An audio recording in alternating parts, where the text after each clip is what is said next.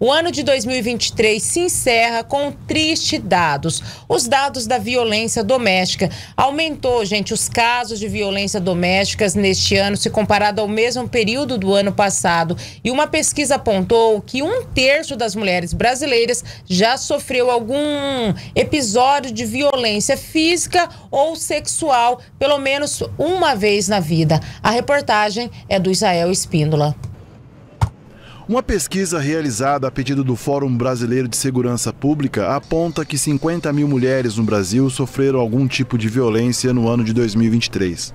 A pesquisa ainda mostra que um terço das mulheres brasileiras já sofreram algum episódio de violência física ou sexual pelo menos uma vez na vida.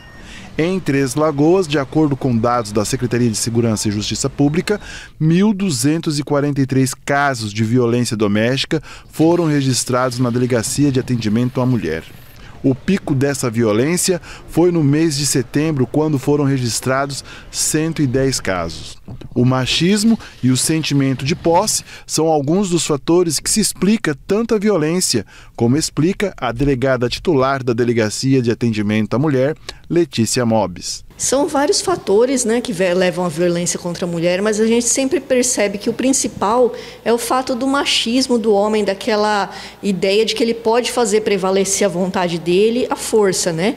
A gente vê muitos casos de ciúmes, é, um homem que não aceita o rompimento do relacionamento, a dependência da mulher em relação ao homem também propicia violência, porque ela fica mais difícil dela sair de um relacionamento, a questão de ter filhos, tudo isso, e o uso também de álcool e outras substâncias substâncias, como as drogas ilícitas. Isso tudo potencializa a violência no relacionamento. A violência acontece de várias formas, a psicológica, a moral. Mas o que assustou mesmo em 2023 foram os casos de violência com agressões, que neste ano ganharam conotação de crueldade. Mulheres vítimas da violência doméstica relatam como é conviver com agressões verbais, manipulações e violência psicológica. Foi passando o tempo, essa pessoa foi demonstrando uma pessoa muito grossa, muito asquerosa, né? Uma pessoa narcisista, onde eu vejo que eu estava num relacionamento tóxico, abusivo. Guardava muitas coisas quando ele me, me agredia verbalmente, né? Porque fisicamente ele nunca me agrediu.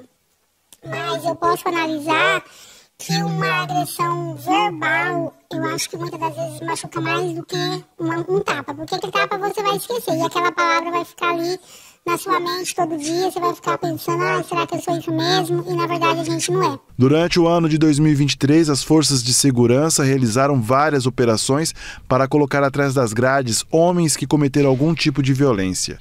Enquanto 45 homens foram presos por agredir mulheres, entre os meses de janeiro a agosto de 2023, 563 vítimas em Três Lagoas procuraram a polícia e registraram denúncias de violência doméstica. Quando a mulher resolve denunciar o companheiro, ela carrega consigo um histórico de outras agressões sofridas durante o convívio. Sim, quando a mulher toma a iniciativa de denunciar, geralmente já houve vários episódios de violência verbal, é, violência patrimonial, psicológica, e ela foi relevando. Quando ela nos procura, a maioria dos casos é porque ela já foi para uma coisa mais grave, como ameaça ou uma agressão física. Né? É muito difícil aquela mulher que venha denunciar na primeiro caso de violência, mesmo porque muitas muitas nem percebem que a violência moral, psicológica também é uma forma de violência. As vítimas de violência doméstica nem sempre terão hematomas e cicatrizes no corpo. Os sinais nesse tipo de casos estão ligados ao comportamento. Geralmente, o agressor quer controlar as redes sociais da companheira, interfere na roupa, humilha e até xinga a mulher na frente de outras pessoas. O agressor também pode ser ciumento e possessivo, a ponto de determinar as escolhas do casal. Caso você esteja vítima ou identifique alguém, procure ligar 190 e a, em Três Lagoas tem o programa ProMUSE. Procure a Polícia Militar que você será orientado e, e auxiliado no que for preciso. Outro tipo de violência registrado na DAN foi o abuso sexual em crianças. Por isso, a delegada ressalta que é importante perceber a mudança no comportamento da criança e, principalmente, fazer a denúncia. Infelizmente, eh, os agressores, nos casos de vítimas de abuso sexual, crianças pequenas, são alguém muito próximo da vítima, pai, padrasto, um parente. A gente sempre orienta para que os pais toquem no assunto do abuso sexual, não levem isso como um tabu. É, orientem a criança do que aonde ela pode ser tocada ou não, para que ela saiba distinguir o que é um carinho normal do que é um abuso sexual.